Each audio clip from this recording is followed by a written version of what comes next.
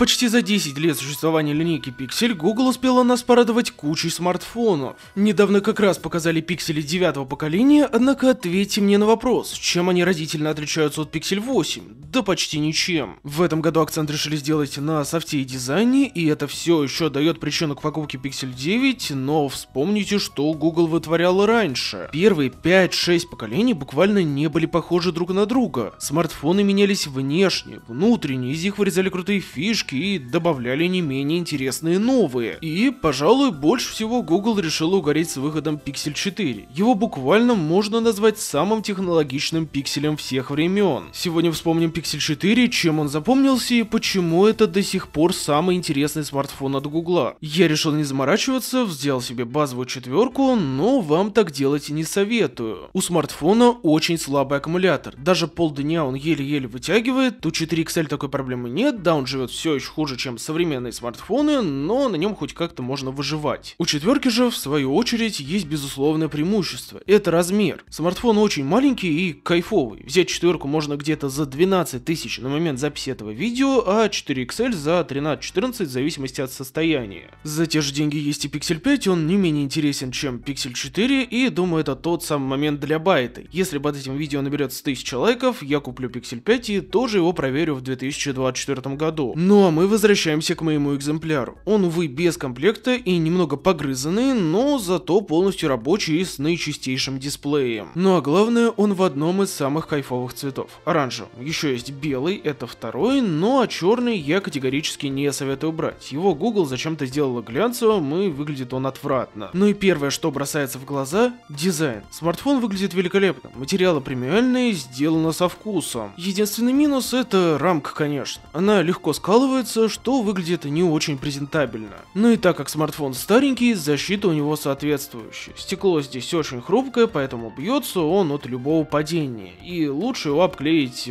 в пленке и надеть чехол. Я свою четверку оставил только в пленке от предыдущего владельца, а вот чехол снял, ибо маленькая четверка идеально лежит в руке из-за своих размеров, да и материалы делают свое. Ну а главный недостаток Pixel 4 кроется спереди. Да, рамки у смартфона огромные и на то есть свои причины. В этой огромной полосе круется куча датчиков, которые отвечают за управление смартфоном. Увы, народ фишки не оценил и поэтому Google выпилила всю кипу датчиков уже в следующем поколении пятого пикселя. Да, можно было бы оставить компромисс в виде щелки, как и сделал Apple до 14 iPhone, но и такой народ тоже не оценил. Вспомните 3 XL, которые тоже холодно встретили, это была такая проверка почвы от Google, которая не удалась. Но вернемся к нашей четверке. В 2019 ее очень плохо встретили из-за этих рамок, так как смартфон выглядел стрёмно даже на фоне бюджета. Но что ж такое Google встроила в эту бровь, что пошла на хейт от комьюнити? А тут находятся все фишки четвертого поколения. Основная это, конечно, Face Unlock, который работал по аналогии с Face ID. Тоже делал 3D модель лица и сканировал ее при помощи датчиков.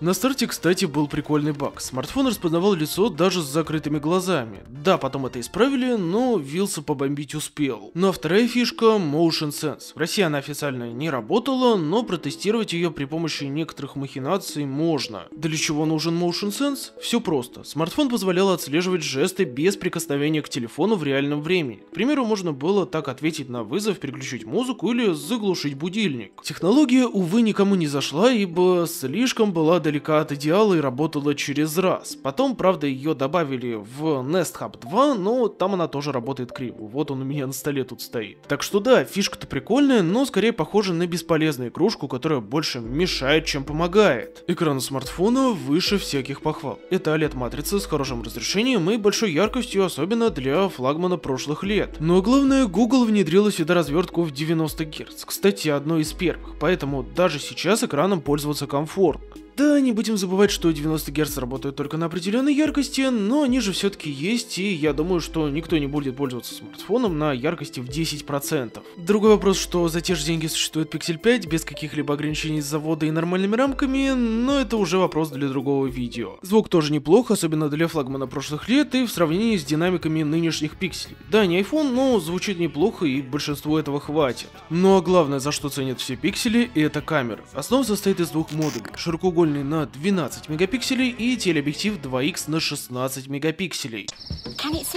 Well, let's see.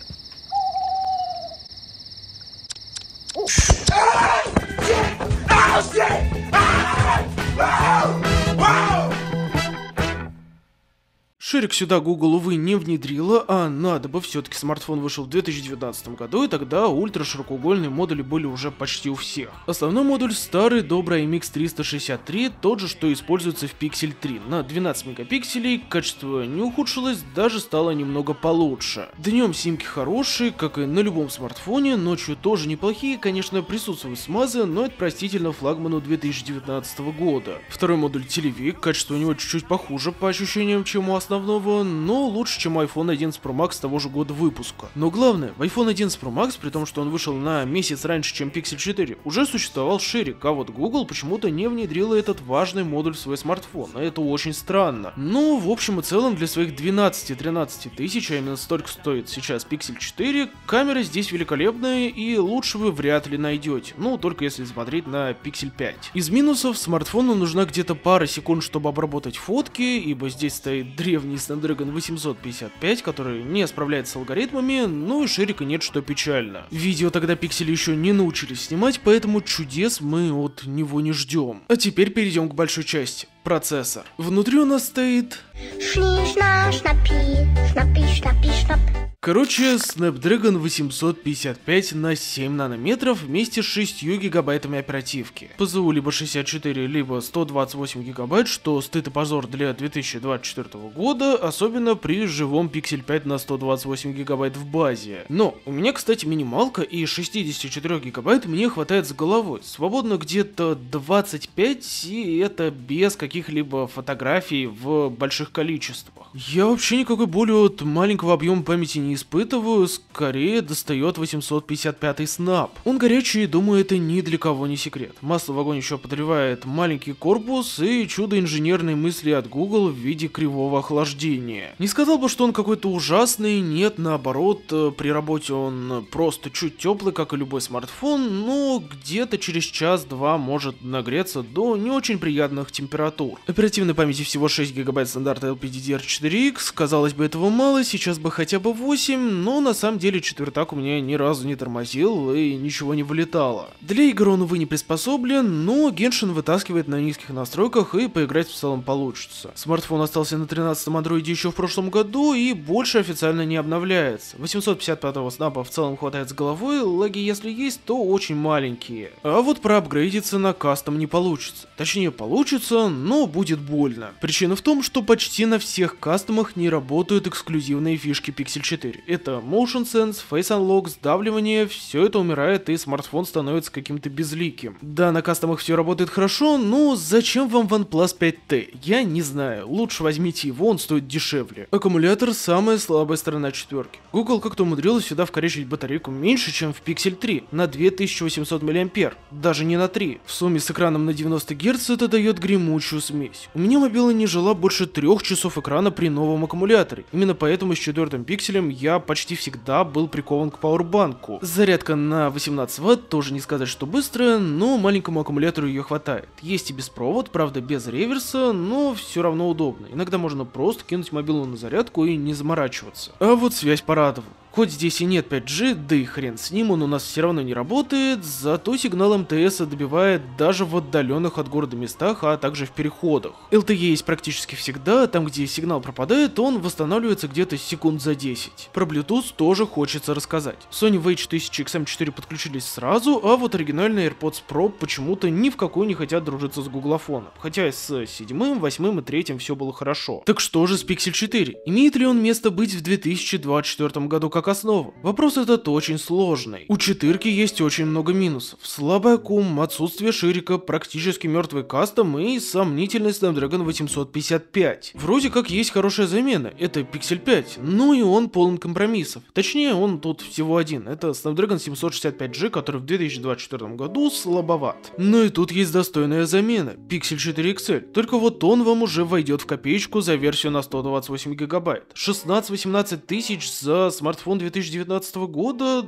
да зачем он вам? И это при живом Pixel 6, который стоит столько же и намного лучше, чем Pixel 4 XL по всем своим характеристикам. Поэтому я считаю, что Pixel 4 в своем бюджете в 12 тысяч рублей это хороший смартфон. Дальше идет Pixel 5, он чуть-чуть подороже, и его бы я брал вместо 4 XL просто из-за памяти. Ну а сам Pixel 4 великолепный смартфон для своего времени, который до сих пор можно назвать актуальным. Покупать его или нет, предлагаю ответить на этот вопрос в комментариях. Ну а тебе большое спасибо за просмотр этого видеоролика, не забывай переходить в нашу группу в Телеграм, а также подписываться на канал. Такая вот история.